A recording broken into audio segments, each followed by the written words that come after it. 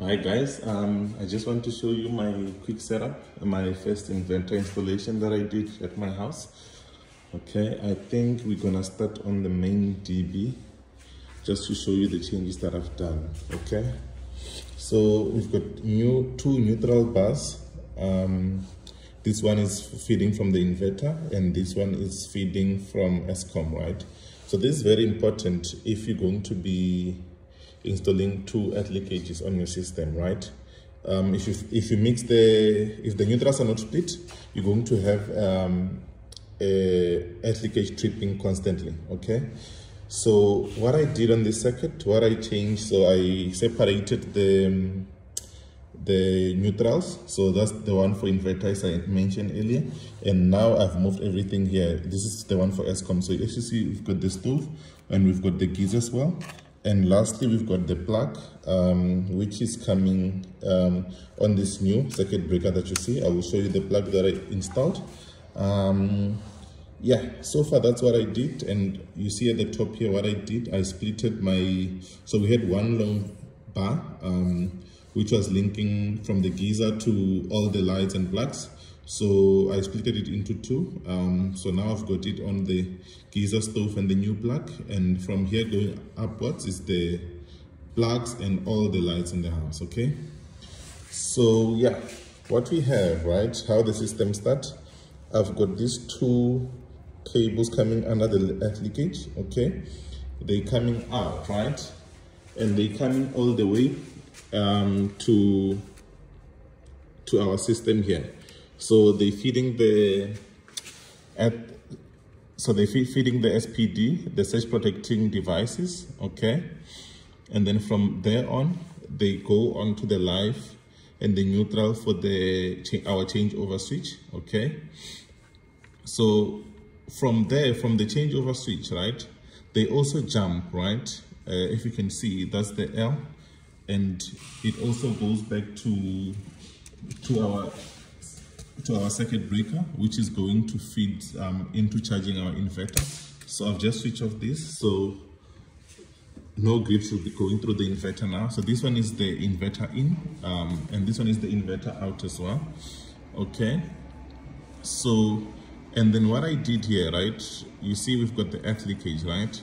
So from the inverter out, um, uh, like I did this intentionally so that you can see.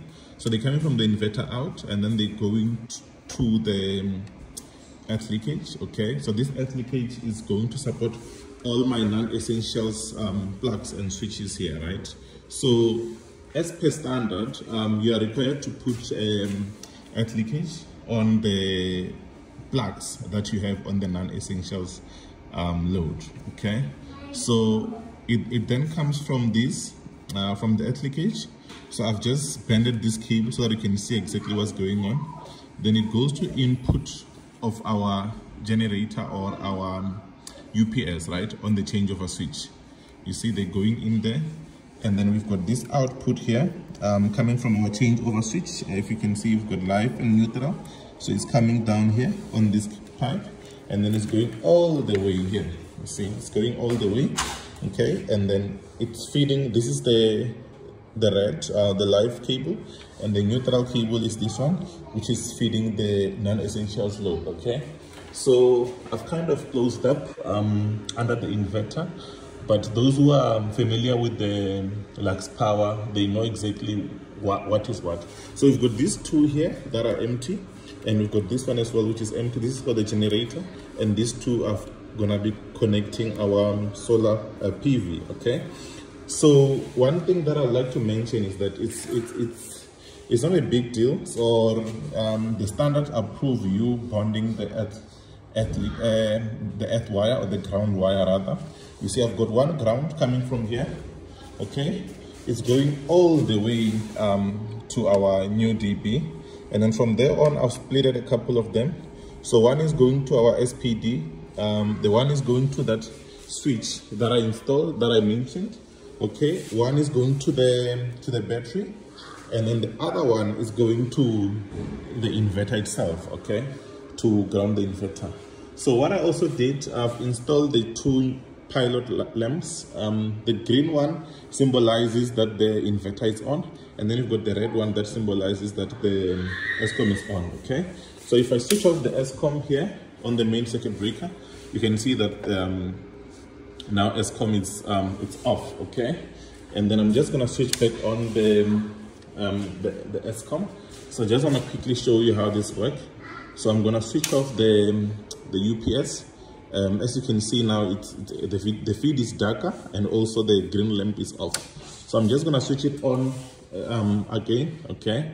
So you see now it's, it, it's brighter again, okay? So going down, uh, where I'm getting the, the UPS or the battery from, so I've got these five star um, um, battery disconnectors with two uh, fuses. Um, I think it's 160 amp fuses. Okay and then we're using this Dyness um 5.12 kilowatts. Um that's the model number there. So we've connected our um, communication cable there. And then on the dip switch if you see we've got dip switch 3 um, that is on okay and everything is closed up because you know we've got kids who who like playing in the garage so so they don't fiddle with this. So yeah i'll be making another video where i'll have everything closed just to show you how everything looks neat and and and close by okay? Yeah that's it. Um, if you've got any questions you can just drop them on the comments. And then you can also just um, subscribe to the page you know for future solar installation and the smart home. So i've got another project coming soon. I've just recently purchased this and i'm busy with my um, home assistant smart home um, integration. Oh thank you guys. Cheers bye